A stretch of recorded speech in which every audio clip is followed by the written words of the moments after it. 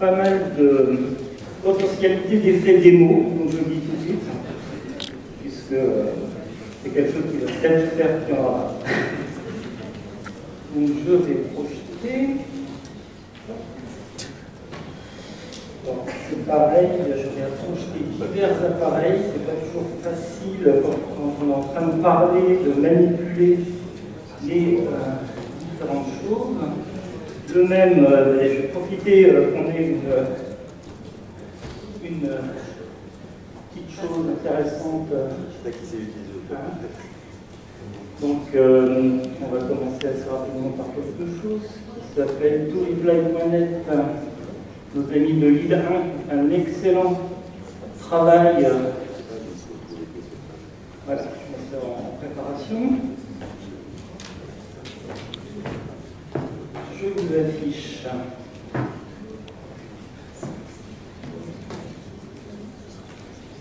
le diaporama, vérifie que ça marche. Voilà, une fois à peu près trois mains ou quatre, mais bon, je vais pas essayer de gérer ça. Donc, on commence par euh, un petit sondage. Euh, donc, on va parler euh, virtualité réaliste, réalité virtuelle, réalité augmentée, des notions euh, qui euh, arrivent de bientôt et qui sont maintenant euh, grand public, hein, pas, ne sont pas des, appareils qui coûtent plusieurs milliers d'euros, c'est entre les mains des choses qui coûtent moins de 300 euros. et donc, la première chose que je voudrais savoir, c'est est-ce que vous avez déjà utilisé, donc en BYOD, prenez euh, vos appareils, bring your own device, connectez sur Internet, et donc avec tourreply.net, vous allez me dire si vous avez déjà eu sur le nez des lunettes de réalité virtuelle ou tout appareil qui vous a permis euh, de voir un dispositif euh, de réalité virtuelle augmentée. Donc, les réponses arrivent en direct. Ici. Donc c'est la question 580. Quand vous arrivez sur... Vous faites répondre à une question, moi je fais afficher la réponse. Je mets un petit code, comme ça tout le monde ne l'utilise pas. Et voilà, on attend le résultat. Alors, normalement, vous voyez euh, dans la colonne des oui, la colonne des mots en rouge. J'en veux un comme ça soit dans mon salon, soit vrai que c'est assez simple. Là, il me faut, il faut des mains supplémentaires. Donc, je pense que la colonne, colonne oui va monter, monter comme je le fais la, la prochaine démo. Tout simplement parce que euh, le dernier euh, résultat euh, CES 2017, Samsung a annoncé avoir vendu 5 millions de casques donc de réalité virtuelle grand public. Et euh, on sait que les PlayStation maintenant arrivent avec en standard ce type de casque. Alors qu'est-ce que c'est et à quoi ça sert? Je vais vous faire une démo. C'est là le, plus compliqué dans ma, dans petite. Donc je quitte le Wi-Fi de l'hôtel, je vous explique tout. Hein. Je quitte le Wi-Fi de l'hôtel, je mets le Wi-Fi de cette petite chose. Je n'assiste pas tout de suite la, la. Évidemment, il me demande mot de passe, c'est pas normal.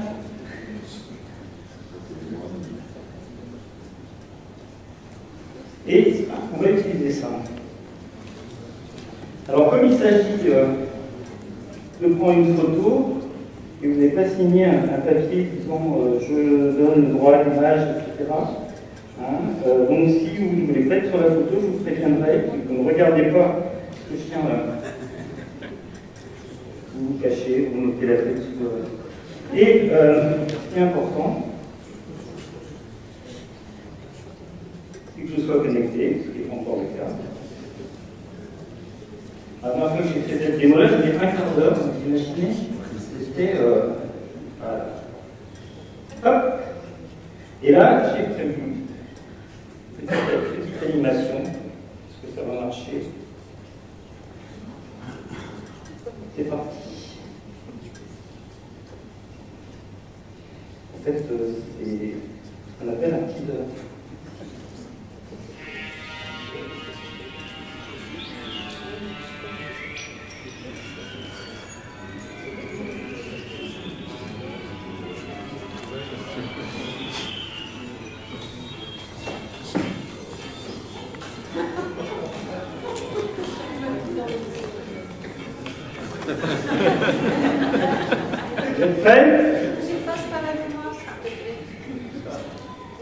5, 4, 3, 2, 1, 0. Vous savez qui je suis, c'est bon?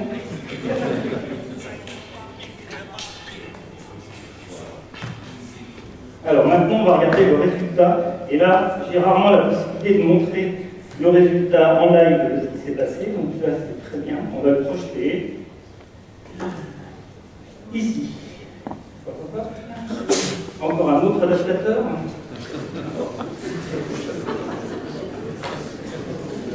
Alors bon, on pourrait optimiser, avoir un switch, euh, du sans fil, on pourrait faire plein de choses super. Et là, qu'est-ce qu'on voit? Alors, il faut que je mette mes lunettes, là, sinon euh, c'est mort. Là, je vois une photo. Mais c'est pas n'importe quelle photo, c'est une photo en 360 degrés. Donc, vous voyez ici, c'est une sphère. Je viens de prendre une photo de sphère que je vous affiche. Je vais mettre peut-être comme ça, voilà, on la verra mieux. Donc voilà le plancher, voilà le plafond, et nous voilà tous. Du moins, tous ceux qui ont bien voulu que je les prenne en. Et on me voit évidemment euh, en plan avec mes gros doigts euh, au niveau de la caméra.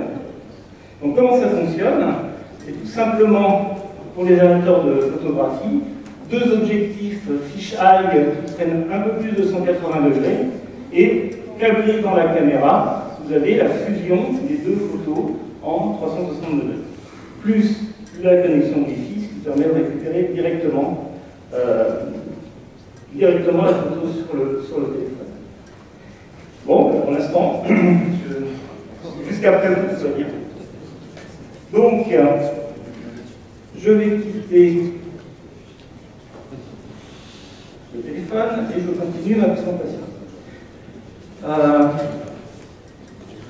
donc, quelques appareils. Donc, ça, c'est une caméra euh, qu'on avait sûrement vu jouer avec. Je me j'avais commencé à faire des photos dans euh, la soirée de gala à Marseille, pour ceux qui se.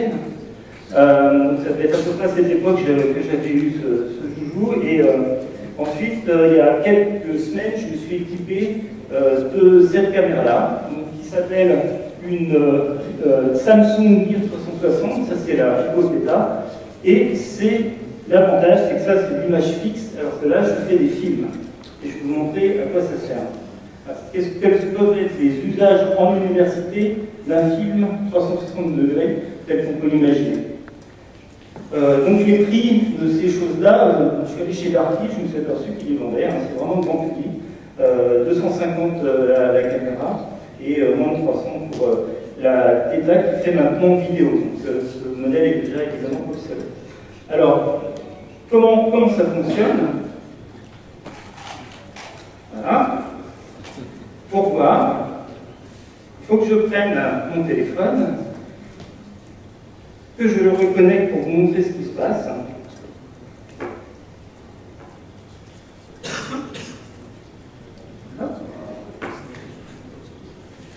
Voilà. Donc, ça, vous avez vu cette sphère. Je peux naviguer dedans. Mais j'ai un mode en bas à droite qui me permet d'être en mode lentille-double. Et à ce moment-là, ça va être chaud. Je le mets dans, on va dire que je le mets là-dedans, j'ai les deux euh, lentilles, et quand je bouge, vous voyez que je suis immergé dans la sphère. Je suis au centre de la, de la sphère, et je, euh, alors évidemment, je ne vois qu'une image qui est fusionnée par les deux lentilles. C'est comme ça que ça se passe. Ça marche. Vous allez me dire, euh, c'est chouette, mais, euh, mais, il faut quand même avoir ça sur soi. Alors, au départ, une, ça s'appelle une Google Cardboard, c'est comme ça. On la monte, c'est un petit épée, c'est sympa. Mais ça reste quand même assez euh, volumineux. Et si on veut faire des démos, récemment, des nouvelles de type de lunettes sont apparues, donc, ce qui fait que maintenant c'est toujours dans la poche. Donc ça se plie, ça se déplie, et on la met sur le téléphone. Alors je vais vous proposer après la, deuxième présentation après la, présentation après moi. Euh, passé en mode euh, de, tester, puisque j'ai ramené euh, pas mal de lunettes, grâce euh, à mon ami Yann, qui en a fait faire pour l'Université Lyon 3. elles sont offertes aux étudiants qui réussissent le C2I. Donc c'est pas tout à fait le même modèle, mais vous voyez, c'est pour l'instant, à mon avis, le goodie qui va faire fureur dans un certain nombre de, de milieux geeks, on va dire.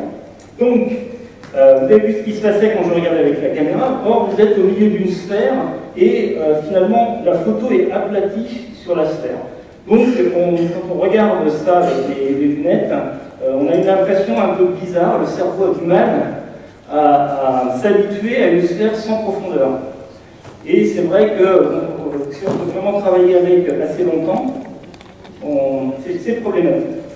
Donc, je vous conseille d'acheter chez vous la même caméra, mais qui fait l'astéroscopie, la 3D. Donc c'est un espèce de mouche que je vous remontre. En bas à droite, ça s'appelle une Nokia Ozo et ça coûte 40 000 euros. Donc, euh, une bonne mour, ça va, ça va valoir plus grand chose dans quelques années, de toute façon. Mais, pour l'avoir testé, c'est vrai que là, on est immergé dans une scène avec de la 3D et euh, au niveau du cerveau, euh, ça va beaucoup mieux. Donc j'ai testé un certain nombre de... Alors ça c'est la minute narcissique. Hein. Euh, donc vous avez à, gauche la cardboard, euh, au milieu les Oculus Rift qui sont euh, donc des, finalement la même chose que ça mais en plastique qui tiennent bien, qui sont plus confortables. Et à droite les HTC Vive, HTC Vive qui est dans l'avantage d'avoir des manettes qui permettent d'interagir avec son environnement en parlant. Et donc en bas, j'ai mis euh, les, nouveaux petits dispositifs euh, qui sont euh, coquettes. Donc si je continue, qu'est-ce que je vais faire avec cette sphère? Quelles sont les possibilités d'exploitation? Parce qu'une fois que j'ai fait la sphère, c'est bien, mais bon. qu'est-ce que je pourrais faire? Faire à des étudiants avec ce type de dispositif Eh bien, l'idée, c'est de leur faire enrichir une sphère. Enrichir de quelle manière? Alors ça, j'ai fait des, photos d'écran. Nous allons à nouveau croiser les doigts puisque euh, je vais essayer de faire la démo. Donc j'ai rencontré une startup qui s'appelle Bugtail, euh, qui a développé dans un navigateur avec donc euh, maintenant les langages web VR, Web Virtual Reality, un éditeur qui vous permet de euh, modifier et d'enrichir une scène en rajoutant donc, alors je vais le mettre en deux, voilà. donc ça bouge, très bien. Donc vous, rajoutez des objets dans la sphère, par exemple, déjà je choisis euh, quelle, euh, quelle photo je prends, il se trouve que bon, là c'est la République, mais on peut, je suis allé faire une photo tout à l'heure, et je peux la rajouter. nous sommes ici. Ah non, ça c'était dans le salon euh, Virtual Reality. Donc euh, vous reconnaîtrez euh, sur le stand e-learning un autre monsieur ici, un autre qui fait la photo évidemment. Donc on rajoute des objets qui peuvent être des liens vers des vidéos, des liens vers des, des, liens vers des pop-up texte, voire quiz, hein, puisque cette interface a été prévue pour euh, enrichir de manière didactique une scène. Là, pour le coup, euh, c'est une scène euh, statique, mais l'idée, c'est d'enrichir une scène 3D. Donc sur la, sur la démo qui est ici,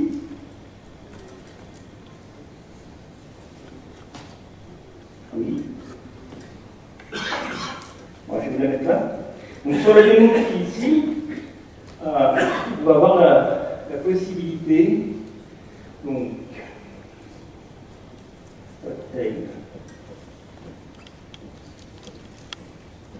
io slash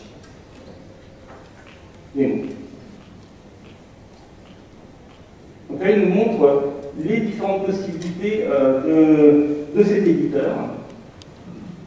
En particulier, ça a été pensé par exemple pour aider une force de vente dans un magasin et vous l'expliquer. Donc la démo, c'est un opticien, vous êtes dans une boutique d'un opticien, dans un magasin d'opticien, et il vous explique comment, je vous mets en pareil en, mode donc là, on est dans, la sphère, on a trois possibilités. Donc ça, ce sont des objets qu'on peut rajouter sur un fond. Et là, on peut aller sur Mars, visiter une brasserie, ou avoir la démonstration de comment vendre des lunettes. Qu'est-ce que vous préférez? Alors, comment, comment on pointe quand on est comme ça, avec des lunettes, sans interaction avec les mains? Donc, l'interface, c'est le petit point que vous voyez là. Il suffit de mettre le petit point sur un objet actif, donc typiquement ces petites choses-là, pour qu'au bout de quelques secondes, hop, ça clique. Ah, ça c'est super. Donc on voit ce qui se passe dans une brasserie, avec du texte enrichi qui nous explique ce qu'il y a, voir le processus de euh, la création de la bière, et on peut vous poser des petites questions, et comme ça a été euh, ludifié, on gagne des étoiles quand on répond bien aux questions, les petites étoiles apparaissent en bas, c'est magnifique. Ça, on utilise ou on n'utilise pas, il faut Donc là j'ai fait un petit restart, simplement pour vous montrer et finir là-dessus. Vous êtes sur Mars, vous pouvez faire un selfie avec euh, l'appareil, et quand vous faites Go Back to Earth, c'est magnifique vous êtes dans une vidéo, look right, qu'est-ce qu'il y a à droite? Et là, imaginez-vous quand vous, allez, vous mettrez les lunettes sur le nez et que vous voyez euh, cette chose qui passe, qu'est-ce que c'est? Je ne sais plus, peut-être un, requin baleine? Ouh, j'ai une étoile trop forte. Ok? Un, requin baleine qui vous passe à côté. Mais il n'y a pas de 3D, c'est un peu dommage. Hop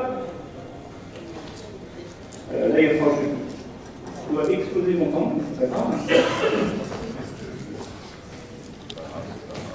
Alors, rapidement, je ne fais pas les démos.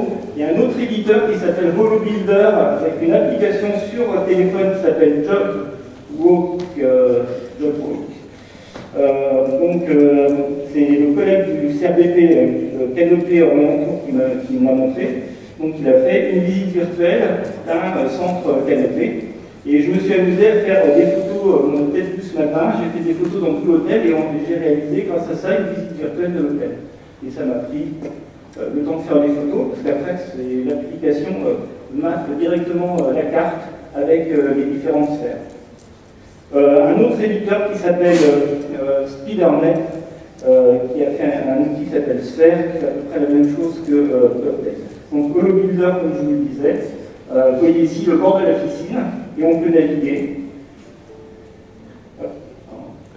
On peut, euh, on peut naviguer entre les différentes vues ici, et là, si vous avez une bonne vue, c'est la carte, euh, euh, la, carte de l'hôtel. Alors, quand on, je vous ai parlé de réalité virtuelle, de virtualité réaliste, de réalité augmentée, c'est un clin d'œil de dire réalité virtuelle, en fait, c'est le terme usuel. Mais quand on réfléchit bien, euh, on fait plutôt de la virtualité réaliste, c'est-à-dire qu'on se promène dans quelque chose de virtuel et on rajoute quelque chose de réaliste autour. Réalité augmentée, c'est euh, la photo 360 degrés, par exemple, euh, qui est la réalité, et vous l'augmentez avec des objets. Après, on a des choses plus sophistiquées, vous avez vu les HoloLens, qui sont le, modèle. On a aussi, puisque pour l'instant je vous ai montré que des photos, on a aussi évidemment la possibilité de créer des modèles en 3D donc euh, de faire des choses euh, très jolies, par exemple avec Unity, donc le, standard de développement 3D. Et là, on va avoir à gauche euh, une application gratuite que vous pouvez télécharger qui vous montre des molécules. Là, pour le coup, vous avez vraiment la stéroscopie. C'est impressionnant de se balader dans des, dans, des molécules qui bougent. Vous pouvez les comprendre. Euh, réalité augmentée, donc j'ai eu la chance de tester euh, dès 2015, les métaglaceuses, qui étaient précurseurs et technologies moins sophistiquées que les HoloLens, mais n'empêche qu'elles étaient. Euh, dire qu'elles arrivent. merci Laurent, je vois pas avec, hein, c'est ce qu'on. Donc, l'intérêt de ce type de dispositif par rapport donc, au, ceci, tout ce qui est réalité virtuelle, on est immergé, là on voit à travers. Mais comme on voit à travers, on fait apparaître des objets. Tous ceux qui ont, qui ont eu des démos depuis le début et qui en auront encore demain, réalise à quel point euh, ça augmente euh, la compréhension de ce qui se passe et la possibilité de rajouter des objets virtuels, pour le coup complètement virtuels, dans votre environnement. faire apparaître des fenêtres Windows, pourquoi pas. Mais euh, ce qui est sympa, c'est effectivement faire apparaître des objets. et comme elle, utilise la technologie Kinect, elle saurait qu'il y a une table Si J'ai rien à faire, j'ai rien à développer. Le simple fait de les mettre, c'est qu'il y a une table, je peux poser des objets virtuels dessus. Donc voilà, ça c'est un des prototypes futurs, parce que là on a une surface finalement euh, correspond à, peu près 10 cm, 20 cm de, pardon, 10 cm de bord à bord. On, imagine plus tard des, des lunettes de réalité virtuelle on aura beaucoup plus de champ de vision et donc de possibilités d'avoir des choses immergées dedans. Il y a des jeux de réalité augmentée qui apparaissent puisqu'on augmente la réalité. Vous voyez la salle de conférence avec un espèce de truc qu'il faut choper avec une balle, je ne connais pas très bien. Je ne sais pas si c'est ce jeu. Et euh, pour ceux qui ont déjà vu, parce que je commence à. Je pense que là, ça va être après ce sera Eunice. Euh, donc là, typiquement, je prends un enseignant et je lui mets des, lunettes de réalité augmentée sur le nez. Ces, ces lunettes de réalité augmentée sont euh, associées à un algorithme de reconnaissance faciale. Donc on est capable de dire, euh, tiens, cet étudiant, il a tel ou tel sentiment. Donc euh, au premier rang, c'est plutôt vert, ça veut dire que je pense qu'ils comprennent. Il y en a même un qui va bien se poser une question, si vous le voyez là, on sait. Il y en a qui dorment, évidemment. Il y en a un qui est amoureux avec sa voisine qui est indifférente. Donc ça, Bon, évidemment, c'est une vue d'esprit, encore que je démontrais, il y a des gens qui étaient persuadés que c'était vrai, que, ça marchait. Alors que bon, l'algo existe, on s'en sert euh, pour euh, aussi euh, aider les, gamins qui ont le syndrome d'Asperger, qui ne reconnaissent pas les sentiments. c'est quelque chose qui est en, développement des labos. Donc, l'enseignant, il va voir en temps réel, avec les lunettes de augmentées, ce qui se passe dans son auditoire quand il leur dit vous avez 15 jours de plus pour rendre le soir. Voilà, ils sont tous contents. Ils ont 15 jours de plus pour travailler. Il y a ceux qui n'écoutaient pas de toute façon, il y a celui qui est amoureux, qui reste amoureux. Donc, ça, euh, de plaisanterie, euh, on peut utiliser la réalité virtuelle pour guérir des phobies. Ça, ça fait déjà des années, on n'a pas attendu que les, euh, casques soient euh, grand public. Dès que je suis arrivé à Descartes, j'ai vu un laboratoire à l'hôpital Sainte-Anne où euh, ils avaient installé un vrai siège d'avion, ils mettaient les lunettes, et euh, les personnes qui ont vraiment très très peur en avion se retrouvaient dans une cabine. Moi, j'ai complètement, et je suis terrifié par le vertige. Donc, je me suis retrouvé avec des lunettes sur un petit piédestal qui fait exactement 3 cm hein, de haut. Et en fait, ce que je voyais, c'était en haut d'un gratte-ciel, avec ça, c'est les petites voitures, hein, c'est New York. Euh, et j'étais réellement complètement terrifié. J'avais beau savoir savoir inconsciemment que j'étais, euh, il n'y avait rien en dessous. Mais euh, là, je vous montre pas la vidéo parce que le ridicule tue dans ce cas-là. Que j'avais commencé à chausser les, lunettes, j'ai fait mon petit truc, je ne vous raconte pas la, la fin, euh, et avec 50 personnes qui, étaient autour de moi au bout d'un moment, je n'en pas personne. Donc ça, c'est un salon qui s'appelait Virtuality, le premier du genre à Paris. Il y a eu vraiment une palette de tout ce qui existe en réalité virtuelle, euh, depuis euh, des, espèces de tables de massage où vous mettiez allongé sur le ventre, on vous mettait des trucs, il y avait du vent dans les, cheveux et euh, aviez l'impression de, de. Alors, vous avez aussi la possibilité de rajouter de l'interactivité. par exemple, on a des plateformes de simulation en santé avec des mannequin. Voilà, on s'est amusé pendant le salon de à lui mettre euh, les, lunettes. Ah oui, je ne vous l'ai pas dit tout à mais c'était Cédric, euh, euh, euh Cédric Villani, qui était sur la, photo et qui était venu voir ce qui se passait. Donc l'idée, là, par exemple, c'est, à l'aide de lunettes de réalité augmentée, ajouter des, informations supplémentaires à ce qui se passe sur une simulation quand les étudiants sont en train de, par exemple, de faire une fausse autopsie ou plutôt une fausse réanimation d'un vous allez me dire, oui, mais ces lunettes-là, je suis comme ça, et bon, si ce n'est pas, si pas des HoloLens, je suis un peu isolé quand même. C'est-à-dire que je ne vous vois plus, j'ai vu ce qui se passe. Euh, donc, de plus en plus de projets sont basés sur la possibilité, quand on est dans un casque de réalité euh, virtuelle fermé, d'interagir avec les autres quand même. Donc, euh, les développements actuels autour de HoloLens et des dispositifs collaboratifs type Skype font que maintenant on va voir nos interlocuteurs à travers ces lunettes, ou alors en réalité virtuelle, c'est des avatars. Il y a une app, vous allez sur cette, vous téléchargez l'app et vous pouvez, euh, pour l'instant, euh, de façon euh, version bêta, dialoguer avec des gens. si vous vous souvenez de la mode de Second Life, les nouvelles versions de Second Life sont en train d'intégrer complètement la possibilité d'interagir à, travers des lunettes et non plus à travers un écran. Voilà, donc ça c'est un retour d'éducose, je le passe pas, il y a une vidéo, mais sont, euh, sont les dispositifs qu'on appelle des caves, c'est de l'immersion totale. C'est-à-dire qu'on n'est plus avec des lunettes simplement, euh, euh, soit avec un petit écran de téléphone, soit avec l'écran qui se superpose au niveau de, de, la réalité augmentée.